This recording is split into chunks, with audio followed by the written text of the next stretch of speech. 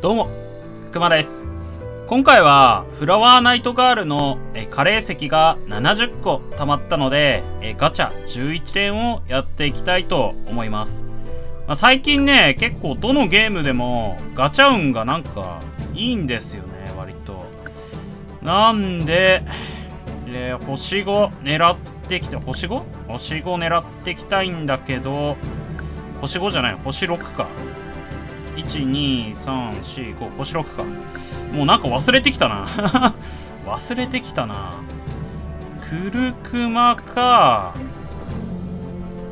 アイビーか。宿り木か。ピックアップとしては。うーんだったらクルクマが一番可愛いかな。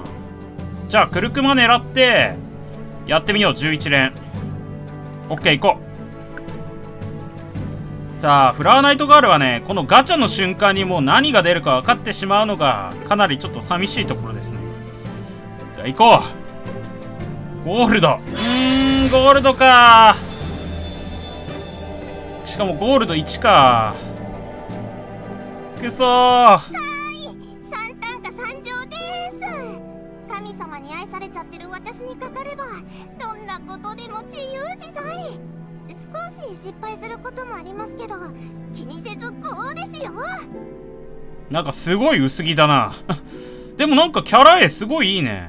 なんか今までよりキャラ絵がいい気がするぞ。ちょっと確認してみようか。えー、入手が新しい順。3単価。スキルは敵2体か。敵2体は微妙だな。でも SD いいですね。あ、これキャラ A もいいし、SD もいいな。あ、やっぱカンパニーも進化してんな。じゃあいらないのは売っちゃいましょう。はい。それでは以上となります。ご視聴ありがとうございました。